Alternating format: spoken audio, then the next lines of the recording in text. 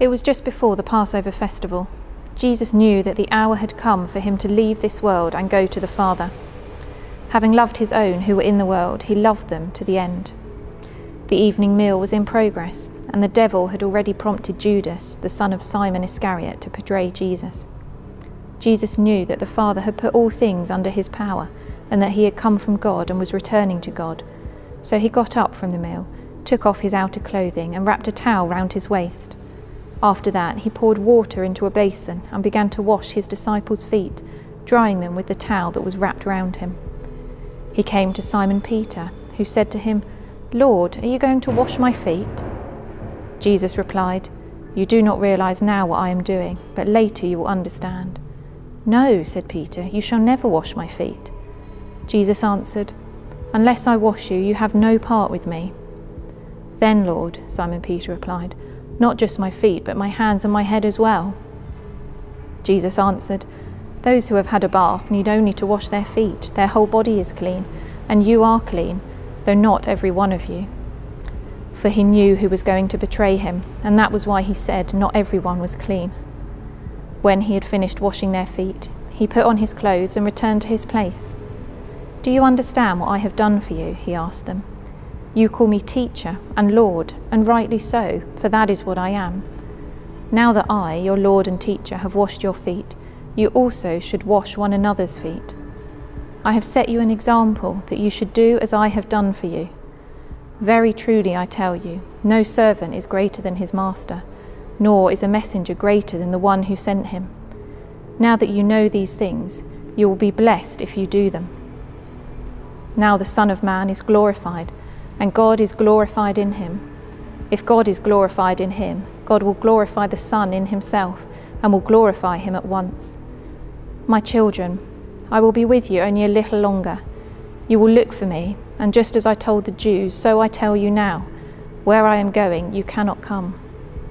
A new command I give you love one another. As I have loved you, so you must love one another. By this, everyone will know that you are my disciples if you love one another. It's Maundy Thursday.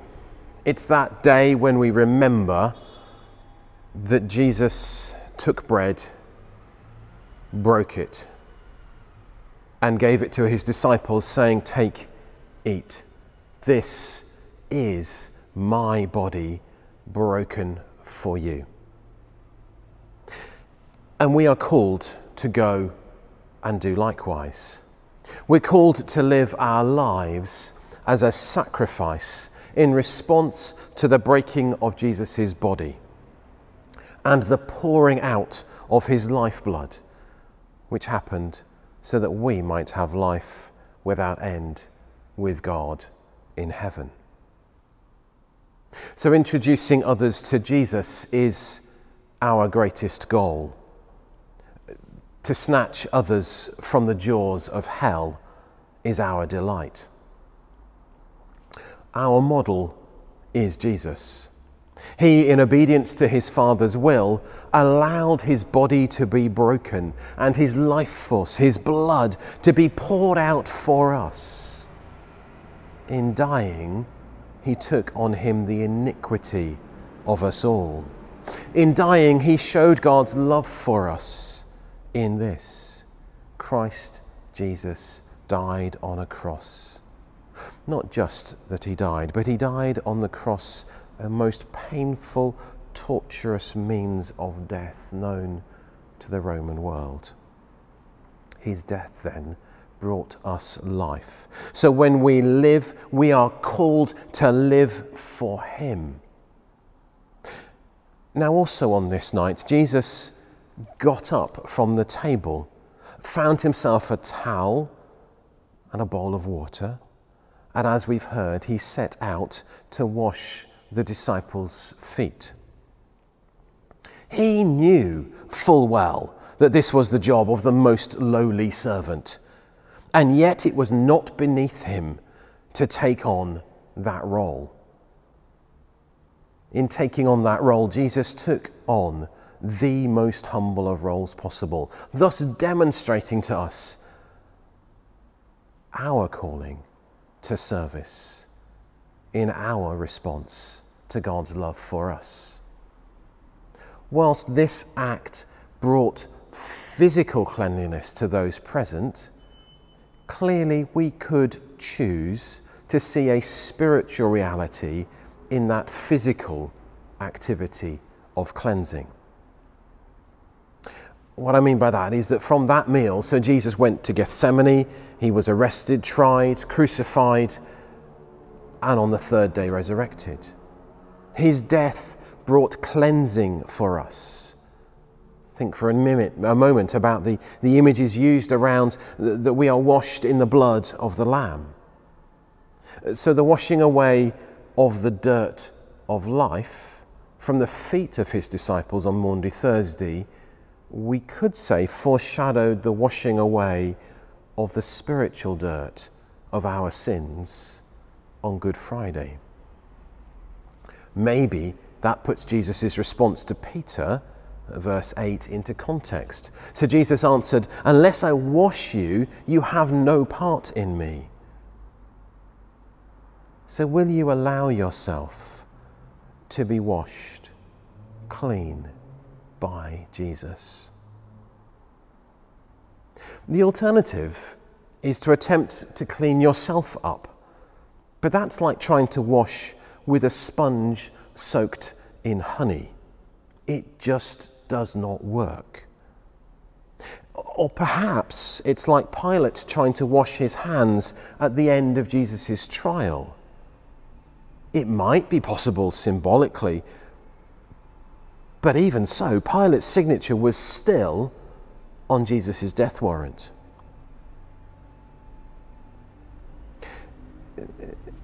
so for Jesus, that cleansing rightly offered to us and accepted is amazing. Remember, the psalmist put it this way that as far as the east is from the west, that's how far God has removed our sins from us. So it's out of an appreciation of the hope, the meaning, the purpose that Jesus offers us as the benefits of his passion that we are called to love others. Famously John 3:16 has it, for God so loved the world that he gave his one and only son that whoever believes in him should not perish but have eternal life. If God loved the world that much, then who are we to hold out anger and hurt and crossness to the world. No, we are called to be witnesses to God's love in our own lives and to love. At least love each other, since that's what Jesus calls Christians to do in that passage. The passage we've just heard, a new commandment I give to you love one another as I have loved you, so you must love each other. By this, everyone will know that you are my followers if you love one another. So, on this most holy of nights, as we remember the Last Supper, the foot washing, and the imminence of crucifixion, so we recognize the seriousness of the situation. Jesus was about to end his earthly ministry. He was about to die. But because we know the end of the story, and because we know the spiritual meaning and the consequences of that action, so even in this most serious of nights, we can have confidence in our salvation. We can rejoice. Yes, because this is the day that the Lord has made.